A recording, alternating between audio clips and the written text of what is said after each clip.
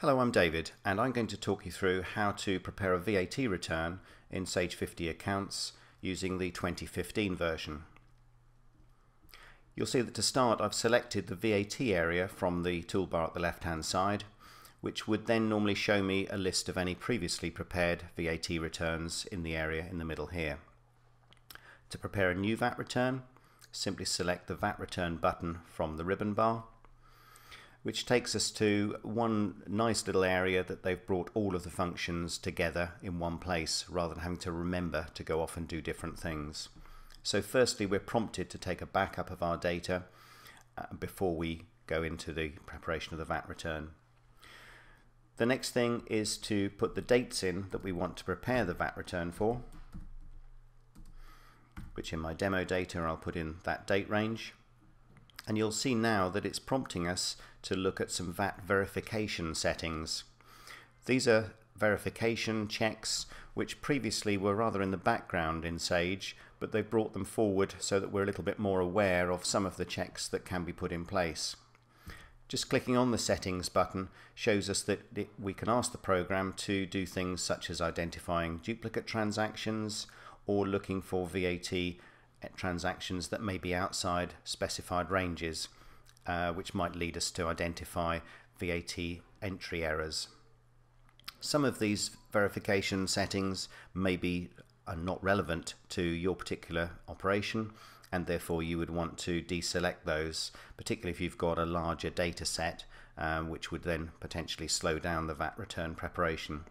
I'm going to leave all of those selected and then go forward and press the calculate VAT return button. You'll see now it's prompting me with that there is an earlier unreconciled transaction. Those of you familiar with earlier versions of Sage will know that in previous versions it would merely come up with a box that said do you want to include this yes or no. Now at least we have some uh, information about the uh, transactions and we can make an informed decision and I'm going to include that transaction. It's now populated the VAT return figures on the right hand side and I can, as in previous versions, drill down into that and then further drill into the list of individual entries that make up those returns. So it's very easy to review that on screen and as in so many areas we've got the ability to export this list to Excel. So once we're happy with those entries on there we can look at um, any results of the verification checks here where you'll see that it has identified some purchase orders that have been delivered but not yet invoiced and some transactions with an unexpected VAT value.